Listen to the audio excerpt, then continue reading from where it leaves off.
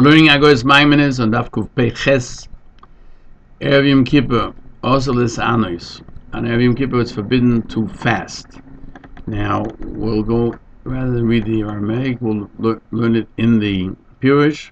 Mitzvah Avis Besuda. One has to add Suda Kedisa, Perakam, Rosh Hashanah, as we find in the first parak of Rosh Hashanah. Parak Basra Yuma, the last parak of Yuma.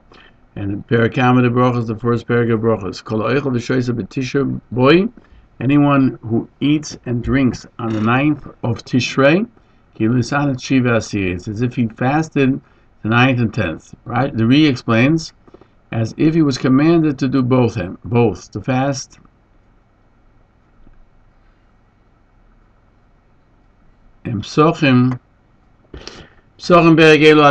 It says, Mar Brei D'Ravina. The whole year he would sit and fast, except for for Shavuos and, and Purim, and the day before Yom Kippur.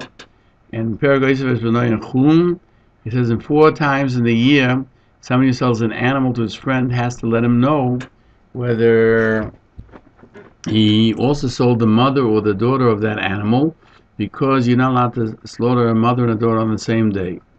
And therefore, he has to let him know that he, he should verify that whether it was slaughtered until Ukidiri Rabbi Yisrael Galili that Erev Yom Kippur the same rule would apply in the Galil, which is the upper part of Eretz Yisrael. Perakam and Ksubis, in the first parak of Ksubis, Alamiyato, if that's the case, Yom Kippurim Shechali is B'Shabbos, Yom Kippur that falls on Shabbos, Yidche, should be pushed off, because Hashem Yishroid ben Oif. And lest he go ahead and, and slaughter a chicken. The says, Yom Kippurim they would eat a lot of chickens and fish, as we see in Bereshit Rabbah, because it's a day of Slicha and Kapora. And that's why they were afraid that it would happen on Yom Kippur B'Shabbos. And also the, the incident where somebody bought a fish, etc. the tour brings to the Medrash. There was a, a, a watchman of the sitting who told his slave, Go buy me fish. He didn't find multiple fish, just one. And the Jew came along and, and he gave her the, he was willing to give a, a gold coin there was a and there was a Jew there. It was his tailor, and he he they went and bid until it became five coins, and it remained the toy tailor. So the slave came back to his master. He told him what had took place. So the the policeman or the watcher, the guard, the, the person was in charge of the city, sent for the tailor. He says, "What do you do?" He says, "I'm a tailor." He says, "Why did you buy a fish that's only worth one gold coin for five gold coins?" And not only that that you took it away from my slave that I sent him to buy it. So he answered him, How can't I buy it uh, even for 10 gold coins? That I'll be able to eat it on this day because there's an obligation that Kodesh Baruch has commanded us to eat and drink. This was the Erev Kippur. And we are sure if we do so, then the next day when we fast, HaKadosh Baruch will forgive us. He said, so he said to him, if that's the case, then I say, Kol HaKavod, you did well, and your potter and go away peacefully. Tzulei of Yom Kippur. Going to the mikveh of Yom Kippur. When we go to mikveh of Yom Kippur, the Agos Mami says, Mishum and Medrash Tanchuma, we find in the Medrash Tanchuma in Parshas Veschanon, Shema Yisrael, Rabban Omri, but Yom Kippur, where they are clean, uh, clean like Malochim, Oimlin Oisoi B'Vahesya and therefore they said they say Baruch Shem Rom. In other words, when we say Shema Yisrael, we always say silently Baruch Shem However, in Kippur we say it out loud because we're all like Malachim, and this was taken from the Malachim. We find um, Moshe did not say it, but uh, Yaakov did say it, and therefore we say it, but Eh, the Rambam doesn't mention this minig about saying Baruch Shem Kvei not in Shvisas also, not by Baruch Shem Kvei in the Kriya Shema. The Torah writes, and you read the Shema and its Baruchas, and you say in Ashkenaz say Baruch Shem Kvei with a loud voice, and so the Shulchan Aruch also paskins. The Hagaos Maimonios on Kuf Tez continues Emoridin Levnei Atevo. Pause Mishloisha. That's the next piece, but we'll just continue what we're doing. In the Seder of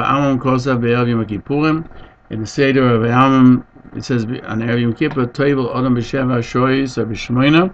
Person goes to the mikveh in the seventh hour or the eighth hour, meaning after midday. And Rav Sadi says when he goes up from uh, immersing himself, he makes a brocha, which is usually men do not make brochas.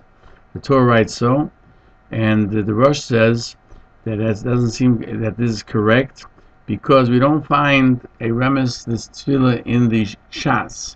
It's only something that was established by the Nevi'im, and it's not even a minig Nevi'im, and it shouldn't be any different than Arava. When we, we strike the Arava on the ground on Hoshana Rabbah, we don't make a brocha because it's only a minig Nevi'im. There are certain rules when you make brochas. The Ham doesn't mention this minig either. The Hagaos Maimonios says, "A Marie Livnei Teva." that you do not have before the the almost less than three people. What does this mean?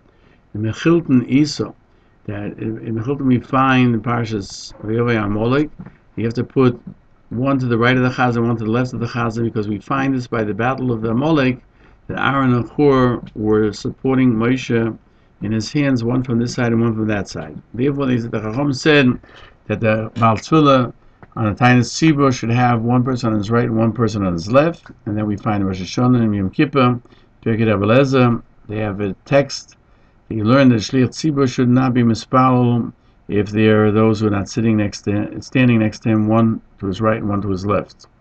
The Prisha in Hilchas Tainus questions why we are not careful about this to have both, and he tries to answer. Only in their days that they didn't have a machzor, so they were there to make sure that they, if the Baal the person praying before the Amud became confused, they would be able to correct him. However, today, when everyone has a machzor, you don't need it. This is called standing next to the short shliach tzibur. This meaning is not mentioned in the Rambam, nor Shvisas also, not Neville's Tainus, not Tzulo the Gabi Tainus Tzibur, but Rosh Hashanah Yom Kippur. The night of Yom Kippur, though, by Kol Nidre, there is a minig of having uh, two people stand, one to the right and one to the left of the Baltfila at the time of Kol Nidre. Hatmona Be'ev Yom Kippur. And the Vitagos Maimon writes to put away food on Erev Yom Kippur. What are you putting it away for? Usually Shabbos, you put it away to eat on Shabbos. So, because of man going, the the Goin called Man Troy says you can put away food every Yom Kippur, so you'll have it right away after Yom Kippur. However, the Ravan writes that you should not do so. The Chacham did not permit it only for Shabbos, but for Chola, for weekday, it's forbidden. The Torah writes the thought of the Goinim, he concludes what what are we concerned about that the Goinim have to worry about. It would seem they should put it away, so have his food ready right away at the end of Yom Kippur. Uh, we find even the selecting of the vegetables, taking off the outer leaves, is permitted. Certainly putting it away. And the Beis says there's nothing wrong with doing so. But the Ramah writes in the name of the Maharil, that the minig in Ashkenaz is not to put it away, and that is the custom.